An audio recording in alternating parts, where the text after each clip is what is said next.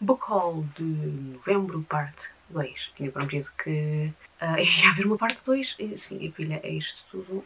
Uh, não conseguem ver o, filho o fim da pilha. O que é que eu ando muito trapalhona a falar.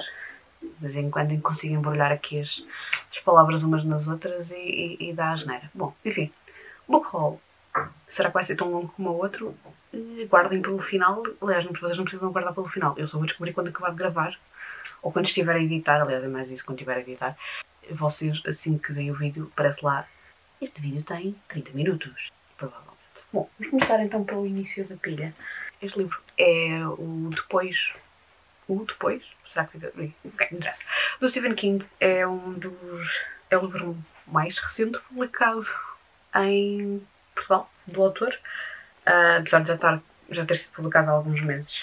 Uh, eu, é, eu, eu mostrei-o no Instagram, quando o recebi, por parte da editora, mas só agora é que uh, ele está a chegar aqui uh, ao canal. Ele já foi publicado em junho.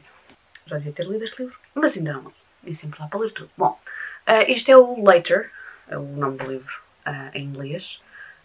eu confesso que não sei muita coisa sobre este livro. Penso que isto é mais, que seja mais uma novela. Isto, esta novela faz parte de um, umas novelas que que o King de vez em quando escreve para uma coleção muito específica, que eu acho que é o Hard Case, ou Hard Case qualquer coisa. Um, costumo ter umas capas vintage, eu se me lembrar deixo. Acaba aqui, se não me lembrar, não deixo. Mas ele tem já pelo menos 3 ou 4 livros que fazem parte dessa coleção. E eu acho que eles têm sido quase todos traduzidos para português. Uh, não li, vou ler um dia deste. Obrigada, editora, mais uma. Editora não. Obrigado, Bertrand, que é editora, não, mas uh, por ter enviado o livro. De certeza que vou gostar de ler. Tenho quase toda certeza porque eu tenho gostado quase, quase tudo King. Não, não é gostar quase de, de, tudo, mas não posso afirmar isso porque uh, houve. Até agora houve alguns livros que eu desisti e há outros que não tenho interesse uh, nenhum, ou pelo menos não são nenhuma prioridade em ter ou ler. São duas coisas diferentes. Bom, este foi um livro que andava à procura de casa. Uh, a Sofia tinha uma série de livros, não sei quando, que ela perguntou se, se, se eu queria algum e eu este dito que, que queria. Este é o The Suspicious of Mr. Witcher, da Kate Summerscale, que é um. é sobre. é não ficção, sobre um crime que se passou na época vitoriana. Esta capa é absolutamente fantástica. Eu gosto imenso destas edições da Bloomsbury. Bloomsbury Modern Classics. Tenho pena de não ter o The Song of Achilles, de Madeline Miller, nestas edições. Mas pronto, eh, só mesmo por uma questão de capa, mas eh, o que interessa é o interior do livro foi assim aqui com alguns souvenirs para mim.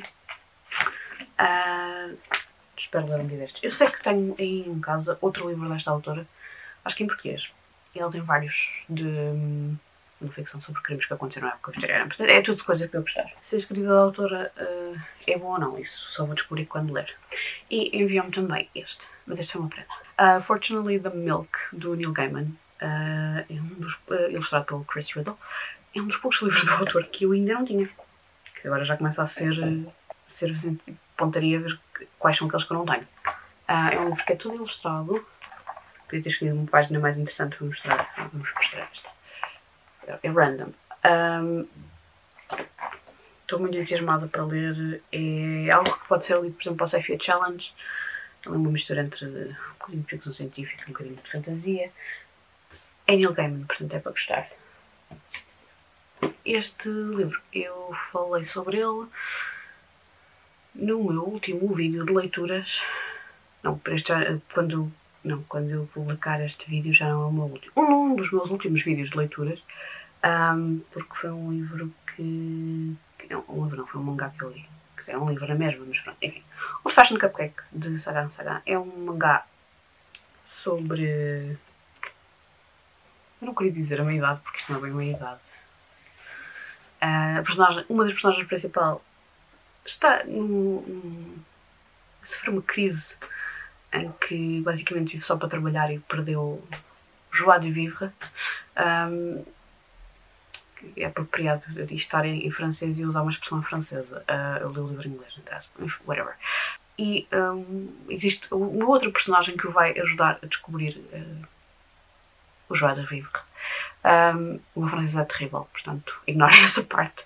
A alegria de viver, para dizer assim por português. Uh, e, e, está relacionado com, com comida. É uma história muito fofinha. Eu, pelo menos, gostei. Achei que era muito fofinha.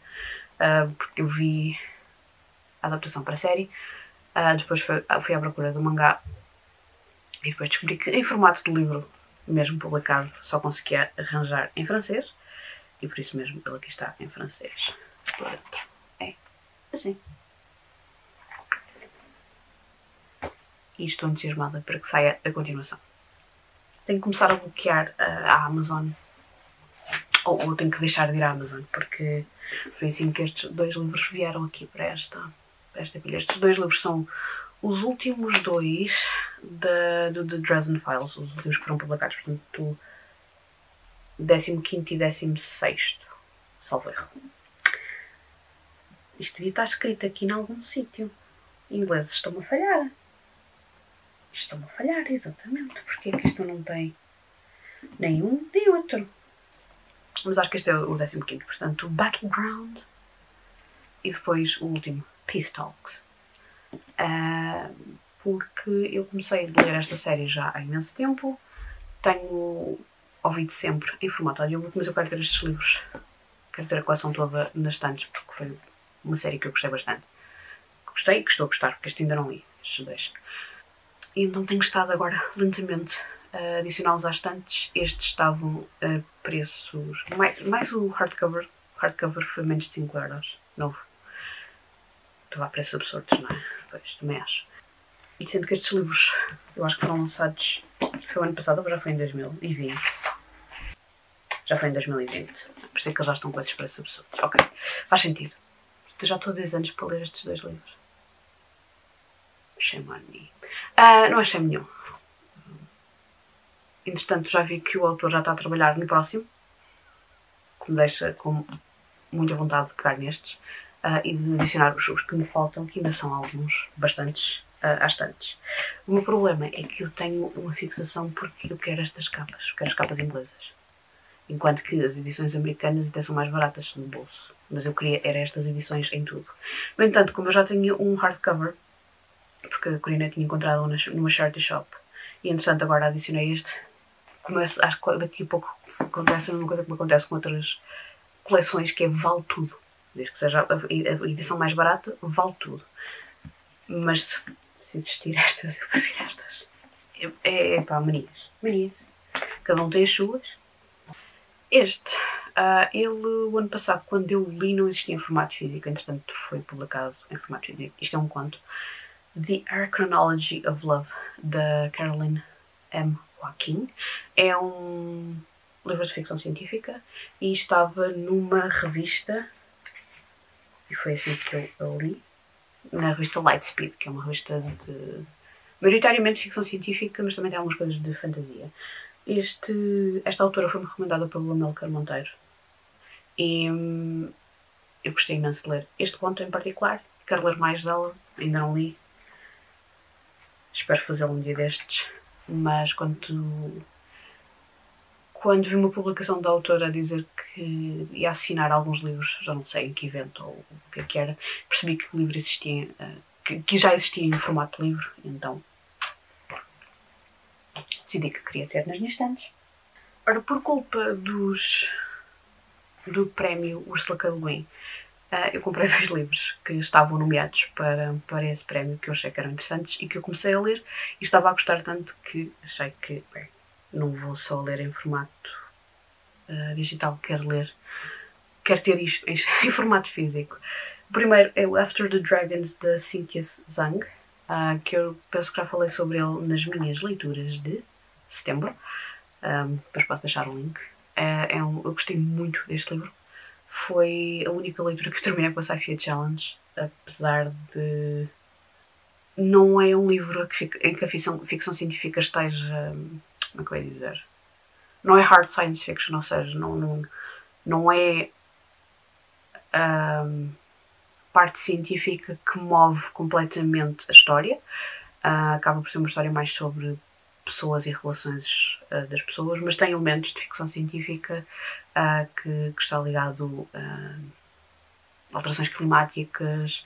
Um, também existe alguma parte relacionada com, com pesquisa de, sobre doenças, sobre o desenvolvimento de uma doença em particular, que faz sentido para, para a história do livro, uh, mas, mas pronto, não é, não é ficção científica pura e dura. Soft, soft science fiction. Uh, outro livro que também estava nomeado para o prémio Ursula. Le Guin é este, The House of Rust. Eu não vou tentar dizer o nome da autora porque ainda não fui ver como é que se diz. E foi o, o livro que ganhou. Acabou por ser este. Uh, eu estou a adorar ler este livro. A prosa da autora é fantástica. Tem um, uma mistura de, de influências de, de, de, contos de fadas, uh, que é uma coisa que eu tenho que eu sempre gostei de ler e que nas minhas últimas leituras tem sido recorrente ler coisas assim, que é fantástico. Uh, esta autora é de Mombasa, no Quênia, e uh, isso, o livro passa-se também em Mombasa. Um, espero, espero terminar de o ler até o final do ano, porque também é um livro que eu estou a apreciar e a ler lentamente. E acho que este mês, este mês que passou, em outubro, não, praticamente não peguei nada. Outro que eu também comecei a ler em e-book, em, em e-book, porque é que eu estou a tentar falar tão depressa que depois dá a geneira. Uh, e depois acabei por comprar em formato físico também. Eu já tinha comprado em e-book, mas comprei em formato físico. Sing Your Sadness Deep, da Laura é um livro de contos. Algumas coisas podem ser terror, outras coisas são sobrenatural, são estranhas, são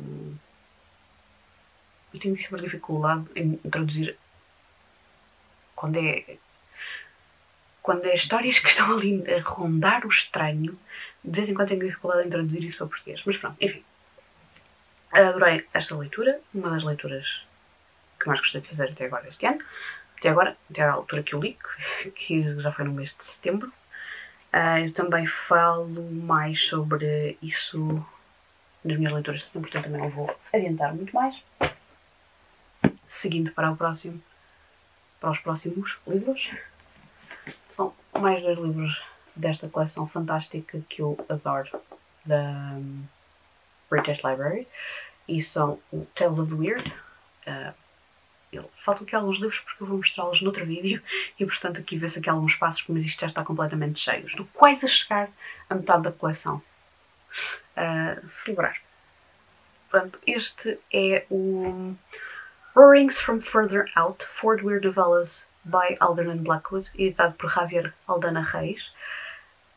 Um, este por acaso não era uma prioridade, porque eu já tenho algumas coisas do Alderman Blackwood, incluindo algumas em português, mas uh, esta era uma edição especial com spread edges, que eles não têm muitas, mas, mas existem alguns, uh, mas que estava a metade do preço. Da parte de ser metade do preço é que foi foi ali tipo o, o foi o que fez eh, eu comprar o livro. Estou-me esqueci da palavra que queria dizer, portanto não, não vou usar a analogia que, que queria fazer. Uh, portanto, mais um para a coleção. O outro que eu comprei era um que eu já queria ter comprado o ano passado, mas que ele não, estava a um preço que eu, que, que eu queria uh, comprar e depois, quando encontrei o preço que eu achei que estava interessante, uh, e por acaso este foi comprado usado, um, é o Haunted Houses, two novelas by Charlotte Riddle, editado por Andrew Smith. A Charlotte Riddle é uma autora vitoriana. Eu já li alguns contos delas noutras antologias de fantasmas que, que já li e gostei bastante. E este livro era um livro que eu também tinha ideia de ler para um projeto que a Ana, da Anatomia do Livro, uh, podcast, que ela já teve sobre casas e, eu fiquei sempre de olho neste livro. Agora é uma questão de o ler um dia destes. Nas minhas deambulações pela Amazon, sem fazer publicidade, mas fazendo, não é? Uh, eu dei-me conta deste livro, que é Medusa's Daughters, uh, Magic and Monstrosity from Woman Writers of the Fond de Siècle, da Theodora Gloss, editado pela Theodora Gloss, uh, que é a especialidade desta, que também é autora, a Theodora Gloss, ela também escreve, penso que ela escreve fantasia. Fantasia ficção científica. Acho que escreve as duas coisas. Uh, mas ela, a especialidade dela é, a época vitoriana. Muito entusiasmada por ter mais um livro com, com histórias de, escritas por mulheres e uh, da época vitoriana. Algumas autoras eu já conheço. Kate Chopin é uma delas. Vernon Lee também. E Nesbitt, que eu tenho em 31 mil uh, antologias de contos.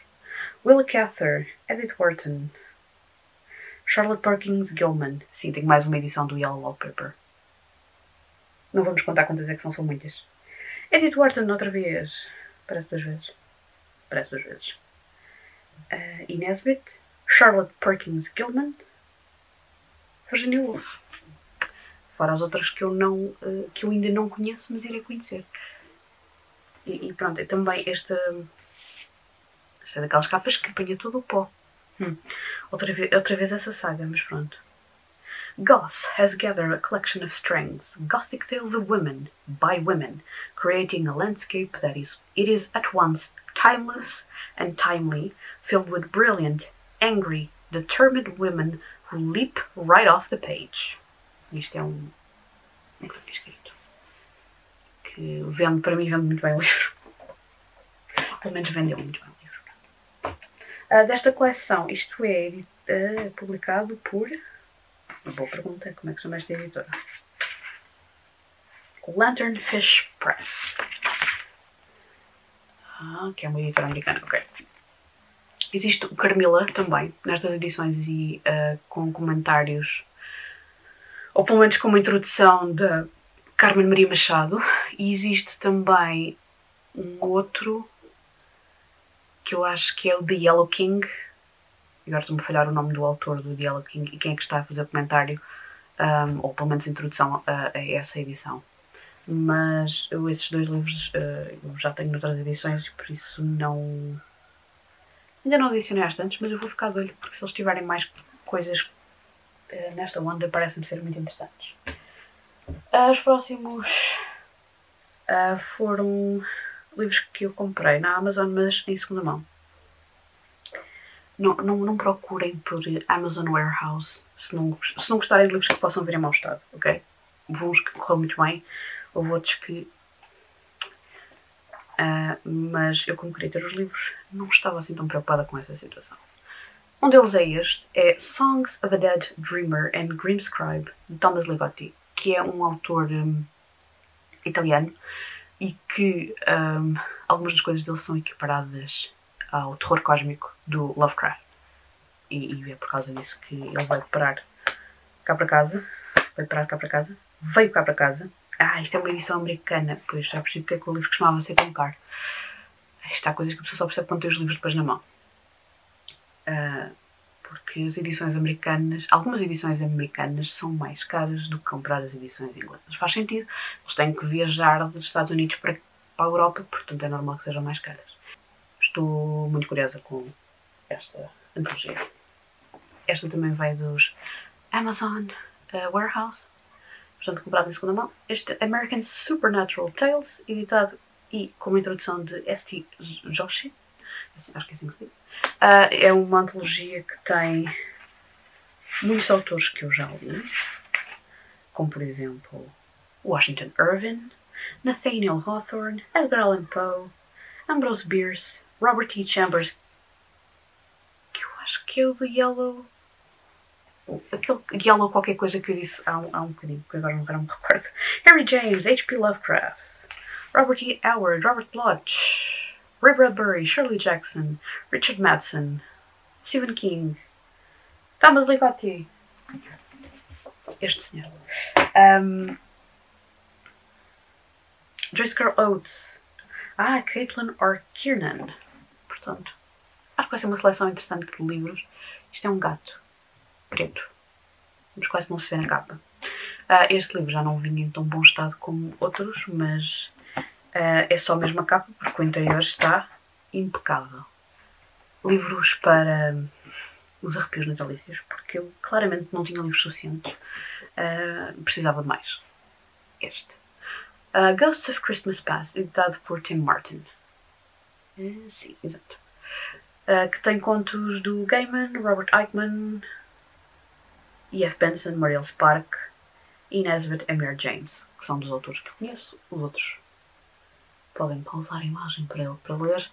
Uh, esta capa tem uma ilustração fantástica e era uma, era uma antologia que eu já estava a ler nela já há algum tempo e agora está cá. O mesmo acontece com esta. Esta capa é muito descritiva, não é? Exato. Um, foi comprada em segunda mão e já não vinha com a capa. É o The Haunting Season uh, Ghostly Tales for Long Winter Nights. Uh, Deixem só ver cá dentro para ver quem é que edita, porque uh, eu acho que é editado por Bridget Collins. Acho que é isso. E tem. É um. Portanto, tem estes contos todos. Eu acho que isto é tudo autoras. Existe um autor? Uh, mas, exatamente. É tudo autoras de ficção histórica. Que é muito interessante. Isto é tudo autoras que eu quero ler. Ou que já tenho livros aí. De Bridget Collins tenho. De Bridget Collins tenho The Binding. Uh, da Imogen Hermes Gore não tenho nada ainda. Da, Nat da, da Natasha Pulley também não. Da Jessica também não. Mas da Laura Purcell tenho um agora não estou a lembrar do nome dele, da Kieran, Kieran Millwood Hargrave. Tenho também um livro e da Elizabeth McNeil também tenho um ou dois, por ler, óbvio. Deixa cá ver. Deixa cá ver. Ah, exatamente. Um,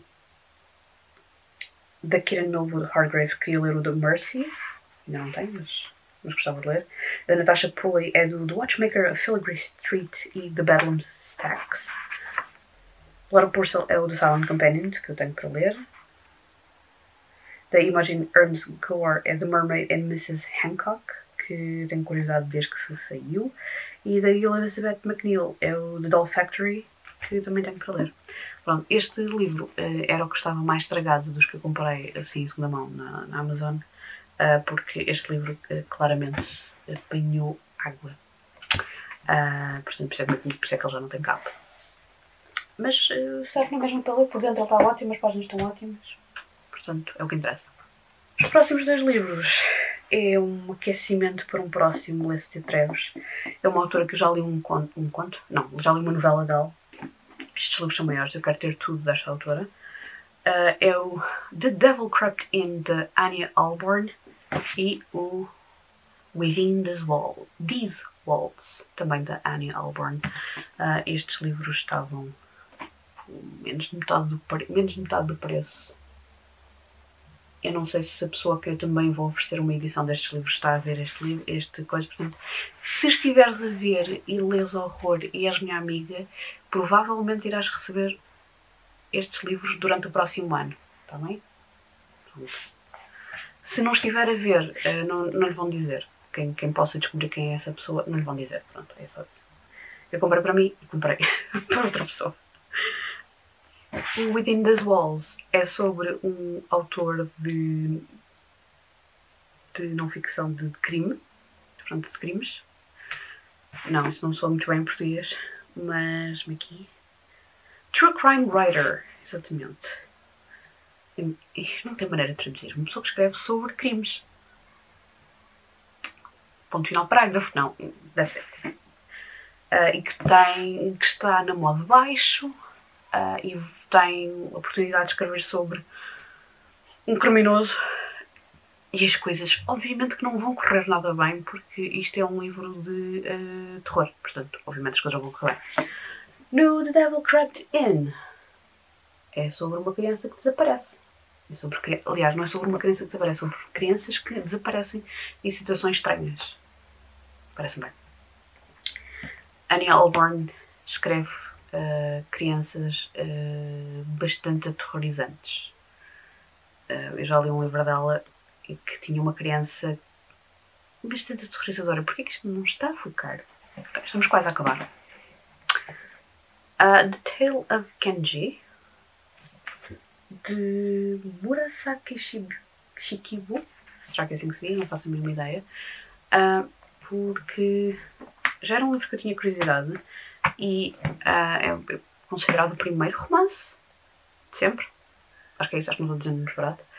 Um, a anatomia do livro comprou o livro e supostamente para um ano vai ler. E eu pensei assim, eu sempre tive curiosidade em ler, ok, se houver uma leitura conjunta vamos juntar. Uh, e depois descobri estas edições da Northern Critical Editions, que normalmente têm textos a acompanhar. Basicamente isto é, é para, para académicos. Mais coisa, menos coisa. Uh, eu já tenho algumas edições desta editora e tenho gostado daquilo que tenho visto. Uh, este livro foi comprado a um terço do preço em segunda mão, portanto valeu muito a pena. Uh, isto tem. não 376 páginas e mesmo assim não é o livro maior que eu tenho nas estantes. É dos maiores que eu tenho nas estantes, mas não é o livro maior que eu tenho nas estantes. Os, os, os, livros maiores que eu tenho nas estantes são os, os três volumes do The History of Middle Earth, em que cada volume tem 2 mil páginas. Sim, literalmente tem 2 mil páginas de papel de Bíblia. Este também é quase papel de Bíblia, um bocadinho mais grosso, uh, mas que vai ser, acho que vai ser uma leitura interessante. E por último, é este tijolo. Um, Our Share of the Night, de Mariana Henriques, Henriques uh, que, pronto, muito entusiasmada por ter este livro. Uh, se eu tenho um livro aí em português que me foi emprestado pela Sara, uh, tenho. E venho de o ler um dia destes uh, em qualquer uma das edições. Só que eu comecei a ler Mariana Henriques em inglês e agora parece-me estranho ler em português. Mas eu até posso ler a edição portuguesa, mas eu quero ter a edição de qualquer maneira em inglês. Porquê é que eu me estou a justificar? Não sei, mas estou a justificar. e esta capa é, é, fantástica e era um dos, para mim era um dos livros mais aguardados do ano, que eu já sabia que ia sair. Um, e agora aqui está.